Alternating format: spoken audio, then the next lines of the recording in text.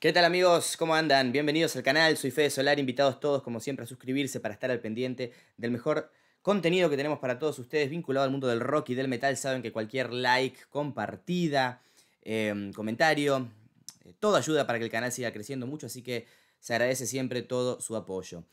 Voy a hablar hoy acerca de una banda que estuve escuchando, yo no la conocía em, y como me enteré de ello fue viendo la portada del disco en páginas web, vi que algunos colegas también hicieron reseña del disco y sin ver aún las reseñas, porque yo no estaba seguro de si, le iba, si lo iba a comentar o no al, disco, dije, bueno, vamos a pegarle una escuchada y mm, evidentemente, habiendo tantos lanzamientos por, comentar, por reseñar y eso, uno va haciendo lo que puede, pero bueno, me llamó la, eh, intención, cualquiera, me llamó la atención em, poder comentar esta banda. Y se trata de un grupo, una one-man band, mejor dicho, de Estados Unidos, concretamente de Los Ángeles, que se llama Lamp of Murmur o, Murmur.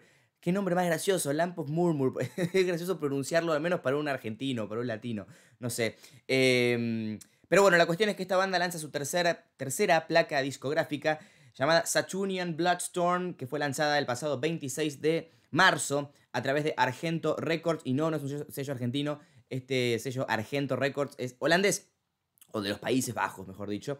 Eh, así que bueno, vamos a hablar un poquito acerca de esta banda. Y fue curioso porque yo no tenía ni la más pálida idea de quiénes eran estos, bueno, de quién era M, que así se, hace llamar el multiinstrumentista eh, de Lamp of Murmur. ese nombre es, muy, muy gracioso pronunciarlo erróneamente.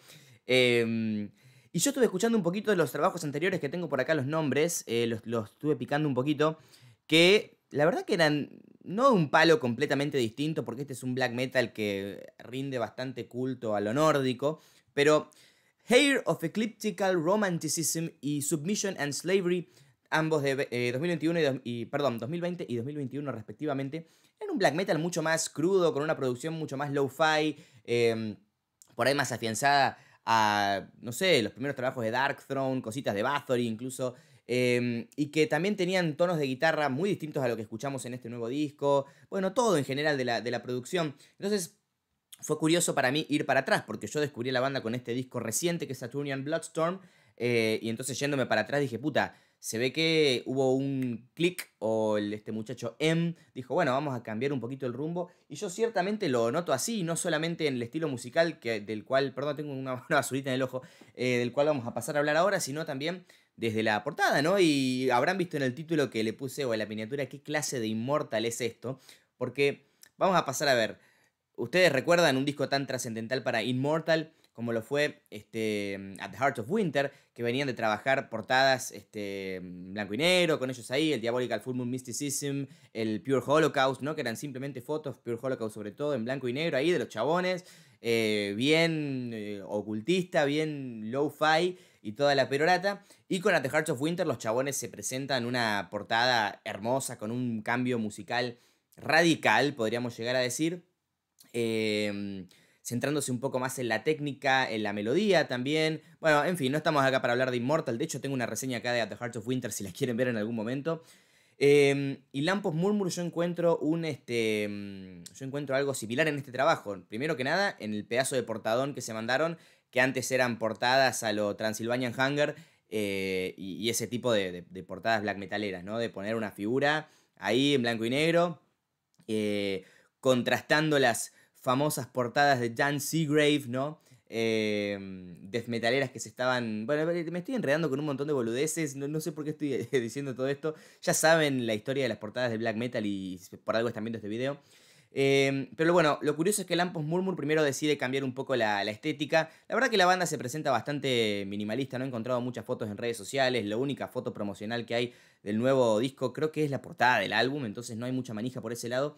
Pero lo que interesa y lo que llama un poco la atención es em, el, enfoque, el, cambio de enfoque tanto de producción como de, em, como de composición, ¿no?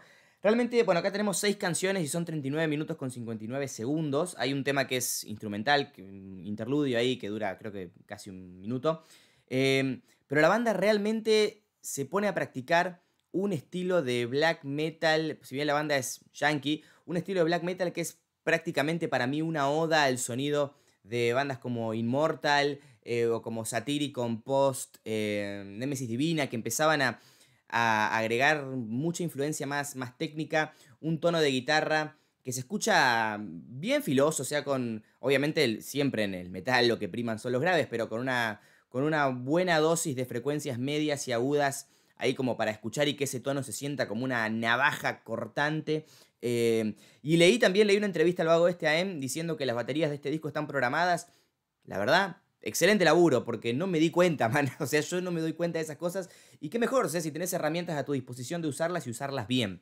Eh, Así que, bueno, y verdaderamente el, estilo de, de, rifeo, el estilo de, la idea de repetición de riffs, de que las, que las baterías con los riffs, con las voces, vayan un poco trabadas, ¿no? Como es el caso de Seal of the Dominator, que es el tercer tema de este disco, que tiene algunas partes que son súper machaconas, te bajan a un half, tempo, a un tempo así mid-pace, Em, donde se empiezan a dar unas, unas síncopas interesantes entre baterías y, guitarras. Los riffs son muy helados, o sea, tenemos esta, el, típico rifeo euronimousero, este, con la tónica, con la disminuida y con la, con la quinta disminuida y con la tercera menor, eh, pero también mucho trabajo de machaque, o sea, por eso digo que se asemeja mucho a lo que estaba trabajando Immortal ahí, porque, porque llevaba o traía por ahí un poquito más de influencias thrash o incluso death metal hasta la música, ¿no? Y que acá está, obviamente con unas raíces muy fuertes de, mm, de, black metal, ¿no? Y con leves elementos melódicos, no me voy a ir al extremo diciendo que suena Dissection o bandas así, porque no, no, no lo suena, no, es, ni de cerca la cuarta parte de melódico que bandas como esas, pero sí jugueteando justamente con algunos elementos melódicos que podría llegar a tratar Immortal, además de la presencia de teclado en muchas canciones, que hasta incluso en alguna de esas canciones sirven para despedir eh, o para incluso introducir alguna parte especial en alguna canción. Eh, Conqueror Beyond the Frenzied Fog es una buena canción, como digo, son temas largos, hay bastante repetición de ideas, eh, o Hymns of Death, Race of, Might, por ejemplo, buenos nombres de las canciones, la verdad están, están buenos, me, atrapan, me llama la atención. Em, ahí también escuchamos uno de los pocos blast beats en esa canción que hay, que también se da con un riff con tremolo que está armonizado. Em, hay buenas ideas también, hay buenas ideas. Y luego de ese riff con tremolo, con blast beat, también viene un riff medio rebotín que se repite bastante e incluso los patrones rítmicos van cambiando, amalgamándose a cómo, a cómo se desarrolla ese riff, que es muy sencillo, es un riff, este, algo así hace, ¿no? Súper inmortal también, no me, no me jodan. Em, y el disco despide con Saturnian Bloodstorm, que es una canción de 9 minutos 8 segundos. Eh, que la verdad que está bastante bien, o sea, lo que venimos escuchando en el disco es lo que escuchamos en esta canción. Creo que la que más me gustó fue Seal of the Dominator, que pensaba que hasta el minuto 3 eh, iba a ser una canción instrumental porque venía presentando muchos pasajes instrumentales justamente que me estaban interesando, pero luego entró la voz, que la voz está bien, es una voz muy clásica del, del black metal, no se la juega mucho, no está con una suma preponderancia en la mezcla, y lo que yo sí siento por más de que dije que las baterías estaban programadas y que estaban bien, es que hay algunas leves inconsistencias, por ejemplo, en cuanto al ataque de, doble bombo, ¿no? En Hymns of Death, Race of Might, que hay algunas partes donde domina el doble bombo, rápido, ahí se escucha es raro porque debería ser al revés, porque ahí es como que se empasta todo el sonido normalmente, ¿no? Pero se escucha el bombo con un poco más de ataque. Em, eh, como, dije, justamente las frecuencias medias y, y, este, y, y agudas por ahí. Y en Seal of the Dominator lo siento muy grave y un toque perdido. En la primera parte que hay como un wash ahí o un platillazo medio raro que no llego a distinguir qué, es. Pero la verdad que se logra un buen sonido. La diferencia con los anteriores es abismal. O sea, es una producción más moderna. el sonido de, caja, redoblante, tarola, como le quieran decir, es un poco más denso, con un poco más de cuerpo. Em, y está muy bien. Ahora, lo que yo siento con esta banda, con Lampos Murmur, por más de que es muy disfrutable, ya que estamos con las comparaciones con Immortal, Immortal en At the Heart of Winter con solo 7 canciones, que eran largas, eran largas las canciones, eran temas, temas extensos, en una misma canción tenía muchísimas dinámicas, muchísimas dinámicas. Solar Fall, por ejemplo, que es por ahí la más conocida, ¿no? Ese riff. Ese riff lo escuchabas un par de veces, pero cambiaba rápido, y venía otra parte, y venía otra parte, y ese era realmente un ejemplo de black metal técnico Em, técnico, tal vez eh, leas, entre, entre líneas, y sobre todo a comparación de lo que venían haciendo antes, rápido, mala onda, helado, frío y muy cambiante. Con Saturnian Bloodstorm de Lamp of Murmur lo que a mí me pasa es que muchas veces los temas, 7 minutos, 6 minutos, 8 minutos, están bien, están buenos, pero hay en, algunas ocasiones muchos, mucha circulación, mucho biribiri alrededor de, un riff, por ejemplo, ¿no? Como dije, el de Hymns of Death, Race of Might. Al final ese riff, creo que es algo así. Eh, van cambiando un poquito los patrones rítmicos, como dije, pero es muy... Es, como mucho, ¿no?